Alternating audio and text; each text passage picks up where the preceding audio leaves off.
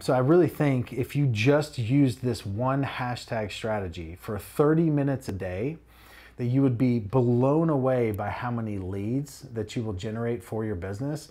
And you'll just be blown away by how how your brand will start to grow the number of followers the number of people that are engaging with your comments uh, or with your posts with comments.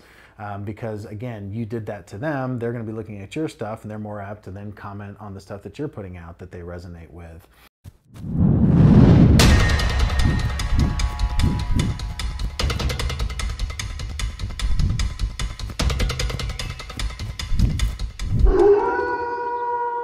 is up, everybody? Welcome to the Sales Wolves podcast. As always, I'm your host, Tyler Jack Harris, and I am a sales wolf. Ah, Ow! Ha, all right. This is episode 179 of the Sales Wolves podcast. And uh, let's see, what can we title this podcast? I would say we could call this hashtag, hashtag. How about that? Hashtag, hashtag hashtag sign, hashtag.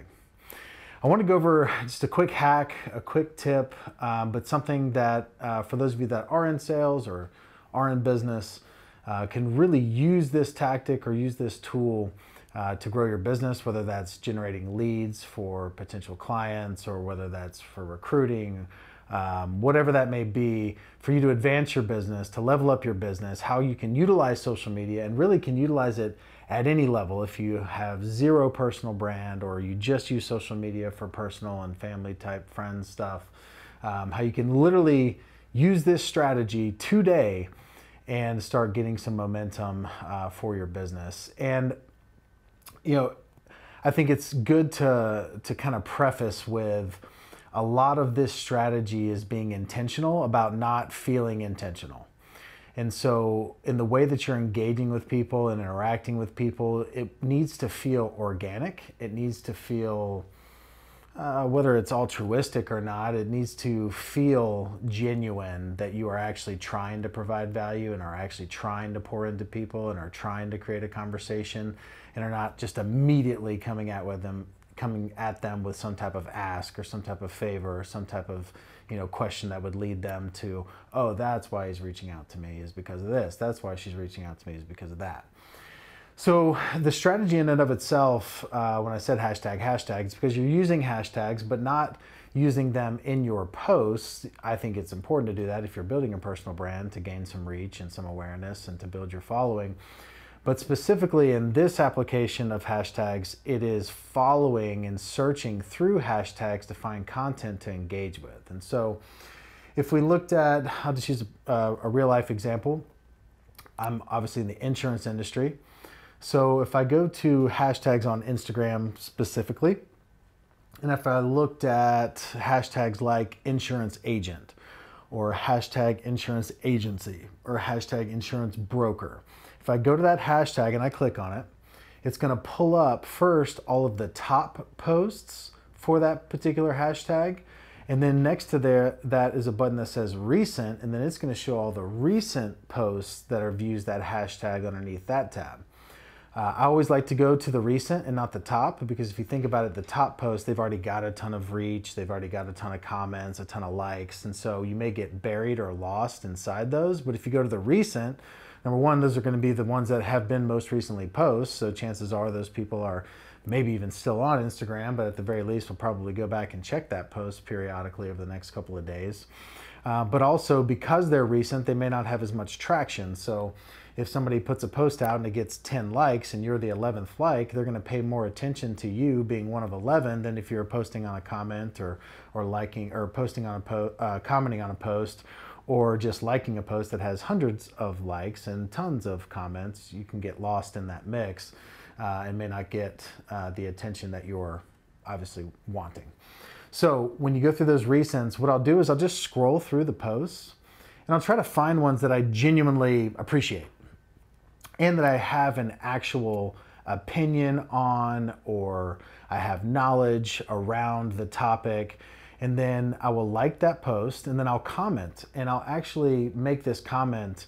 Um, it's thoughtful. Uh, whatever they said on the graphic or in the copy, I'll um, read that and actually have a thought that is a genuine, real thought that I think may be of value to them, and I'll put that in the comments. If you just did that one thing for 30 minutes to an hour a day, let's just start at 30 minutes a day. If you just did that 30 minutes every single day, here's what that typically looks like. If I spend 30 minutes searching through hashtags, liking and commenting, if I go back to Instagram an hour later, I will see a ton of people that have liked that comment, have replied to that comment, and now I am in basically a conversation with that person. So it's the perfect time to, to go ahead and maybe look at their Instagram stories and pro- reply to one of those, or just shoot them a DM and just find out a little bit about uh, a little bit more about what they do. Start creating some of those um, some of those conversations around the key things that you're looking for to maybe uncover a need, maybe to uncover um, something that you can provide a solution to or you can provide value to. But every single time, I'll do that for 30 minutes, I'll come back an hour later, and almost every one of those comments have been liked, responded to, and most of the time, a large percentage of those that liked and responded to the comment also followed me. So now that person's following me and they're seeing the content that I'm putting out. Um, but it's been remarkable how many times over the course of just a couple of hours doing that 30 minutes of going through hashtags and engaging in conversations with people in their posts has led to me actually having a phone conversation or a pretty in depth conversation through DM with somebody from anywhere. Could be around the world, but um, very easily could be all across the US. And now you are building a relationship with someone. And who knows what that relationship could turn into? There could be future business opportunities down the road, but at the very least, it could be a potential customer of yours or potential um, user of whatever service um, or product that you provide. Um, so I really think if you just used this one hashtag strategy for 30 minutes a day, that you would be blown away by how many leads that you will generate for your business. And you'll just be blown away by how, how your brand will start to grow, the number of followers, the number of people that are engaging with your comments uh, or with your posts with comments. Um, because again, you did that to them. They're going to be looking at your stuff and they're more apt to then comment on the stuff that you're putting out that they resonate with. And just the environment that this can create for you on social media, for me, is so critical for you to not look at social media as a distraction, but use it for the incredible tool that it is. Uh, I've said this many times before, but it is a tool. That tool is purely and solely dependent on how you use it. So a hammer can be used to kill someone. It can also be used to build a house. Depends on how you use it. Social media can be used as an insane distraction and a horrible use of time, or it can be used as an incredible tool to engage in conversations organically with people that otherwise you would not be able to reach. And those relationships, who knows what they can turn into but at the very least, they could turn into someone that's interested in the product or service that you have to provide and the solutions that you have to provide, and potentially business par- partnerships and opportunities down the road um, that right now you can't even fathom because the opportunities are literally limitless when you start connecting with people and building real relationships. Last thing I'll say do not take the easy route with this and start just going through and liking posts and putting the same comment like great post or awesome thought or I agree or this everyone needs to hear this.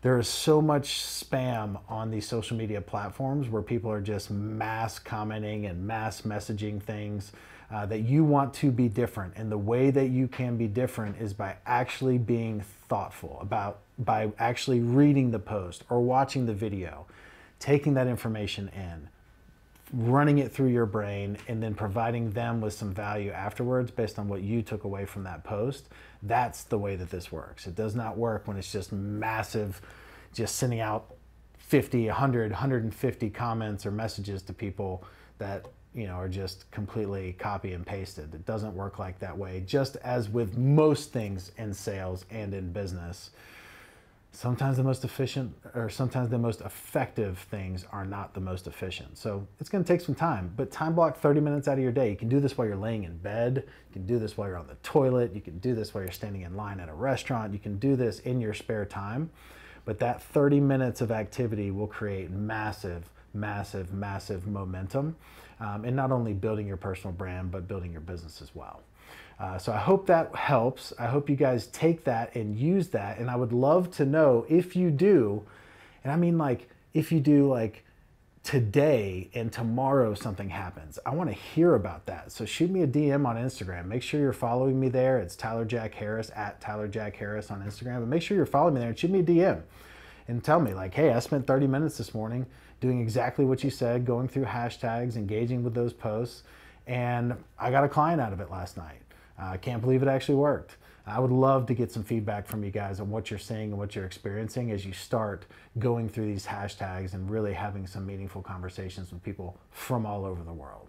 So, with that, guys, this is episode, episode 179 of the Sales Wolves podcast. As always, I'm your host, Tyler Harris, and I am a sales wolf. Ow!